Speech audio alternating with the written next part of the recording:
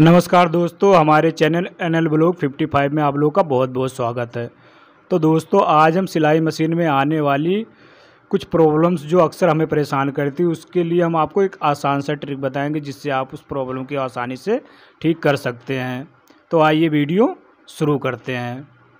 तो दोस्तों, सबसे पहली जो प्रॉब्लम होती है हमारी सिलाई मशीन, हमारे कपड़े को नहीं खींचती है। जितना मर्ज़ी हमें सिलेटर दबा ले, हमारी सिलाई मशीन कपड़े को नहीं खींचती है। तो उसके लिए दोस्तों हमें क्या करना होगा? मशीन को पहले पलटी करना होगा। मशीन को पलटी करने के बाद दोस्तों फिर हमें ये देखिए, ये वाले नट को हमें हल्का ढीला कर देना होगा। ये देखिए, जिस तरह, ये देखिए, जिस तरह हम पेचकस से इसको हल्का ढीला करें इस तरह ढीला करने के बाद में आप भी, उसके बाद में ये देखिए, नीचे ये वाले, इसको हल्का सा हमें ऊपर करना होगा।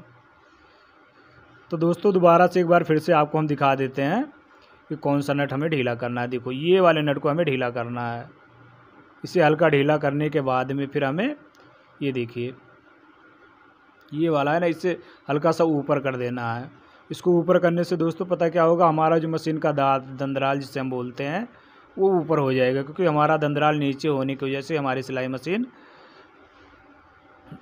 जो है पल्ले को नहीं खींचती है। ये देखिए, अब हमारी सिलाई मशीन किस तरह पल्ले को आसानी से खींच रही है।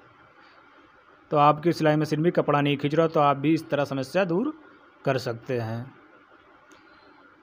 दूसरी जो प्रॉब्लम अक्सर आती है दोस्तों, वो हमारे सिलाई मशीन में कुछ इस प्रकार का होता है। जैसे हमारी सिलाई मशीन ऐसे गुच्छे देती है और बार बार जो है हमारी बोबिन केस में जो है ना, हमारे बोबिन का धागा बार बार फंस जाता है। कुछ इस प्रकार ये देखिए, इस प्रकार आपको भी प्रॉब्लम आती रहती होगी। तो इसे दूर करने के लिए दोस्तों, आपको एक सिंपल सा ट्रिक बताते हैं, जिससे आपकी ये प्रॉब्लम हमेशा के लिए दूर हो जाए। तो दोस्तों, वीडियो को ध्यान से एंड तक पूरा देखते रहना, जिससे आपको पूरी जानकारी मिल सके। तो उसके लिए दोस्तों, हमें क्या करना होगा, कपड़े का एक छोटा सा टुकड़ा काटना है, उसके बाद उसे गोल गोल काट देना है पूरा, अपने बोबिन केस के बराबर। ये देखिए, बोबिन केस के बराबर पूरा काटने के बाद में इसके बीच में हल्का सा टक लगा देना, यानी सुराख कर देना है, जिससे हमारे बोबिन केस में आसानी से फिट हो जाए।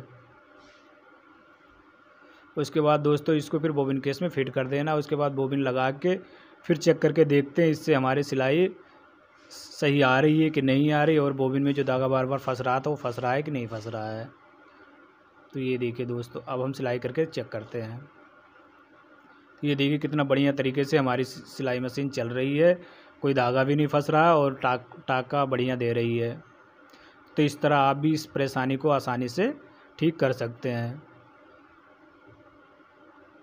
दोस्तों, वीडियो अच्छा लग रहा हो तो लाइक कर देना, चैनल पर नहीं तो सब्सक्राइब करके बेल आइकन को आल पर क्लिक कर देना।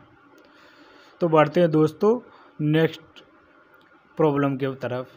नेक्स्ट प्रॉब्लम जो आती है दोस्तों पता है क्या कभी काल हम लेदर का कोई कपड़ा लेते हैं, उस पर अगर सिलाई करते हैं तो हमारी फुट जो होती है, जिसे हम बूट बोलते हैं, वो हमारे जो है ना, कपड़े को नहीं खींचती मतलब लेदर को नहीं खींचती उसके लिए हमें प्लास्टिक बूट की ज़रूरत होती है।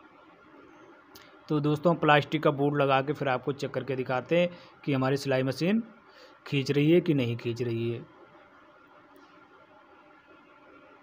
तो दोस्तों, वीडियो को बिना स्केप के एंड तक देखते रहे ना क्योंकि आपको पूरी जानकारी मिलेगी, तभी आप अपनी मशीन की समस्या हल कर सकते हैं। और वीडियो अच्छा लगेगा तो लाइक कर देना, चैनल पर नहीं तो सब्सक्राइब करके बेल आइकन को आल पर क्लिक कर देना, क्योंकि ऐसे ही यूजफुल वीडियो हम आपके लिए लेते आते रहते हैं। तो ये देखिए दोस्तों। अब हमारी सिलाई मशीन कितनी अच्छी तरीके से जो है लेदर वाले कपड़े को खींच रही है। तो दोस्तों, इसके बाद भी एक और ट्रिक है। अगर मान लो, हो सकता है हमारे पास प्लास्टिक का फुट ना हो, ठीक है? कभी काल दोस्तों क्या होता है, हमारे प्लास्टिक का फुट मौके पर नहीं अवेलेबल होता है। तो उसके लिए हमें अगर इमरजेंसी में ज़रूरत पड़ जाए कि हमें जो है लेदर पे सिलाई करना है तो किस तरह करेंगे? उसके लिए आपको हम आगे बताते हैं। उसके लिए दोस्तों ये देखिए। ये बूट अगर हमारे पास नहीं तो ये वाला, ये जो हमारे पास नॉर्मल बूट होता उस पर जो है हमें दिखाता हूँ आपको। ये देखिए दोस्तों, ये टेप है। इस टेप को हमें नीचे इसके ऐसे चिपका देना है दोस्तों, ठीक है? ऐसे चपकाने के बाद में फिर दोस्तों इसको चारों तरफ़ से हमें काट के बराबर कर देना है।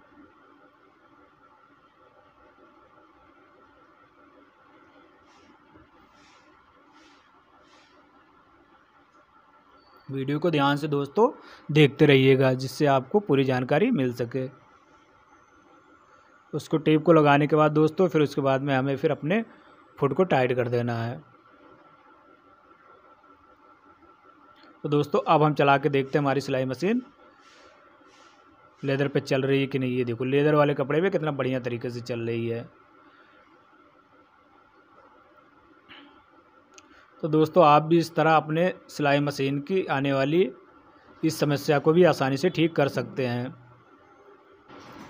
आई होप दोस्तों कि आपको वीडियो अच्छा लगा होगा। वीडियो अच्छा लगा हो तो लाइक कर देना। दोस्तों, चैनल पर नहीं तो आप चैनल को सब्सक्राइब ज़रूर कर लेना, क्योंकि ऐसे यूजफुल वीडियो हम आपके बीच में लेके आते रहते हैं। तो मिलते हैं नेक्स्ट वीडियो में, जब तक के लिए आप लोग स्वस्थ रहो, मस्त रहो और देखते रहो Anil blog fifty five YouTube channel. तब तक के लिए बाय बाय।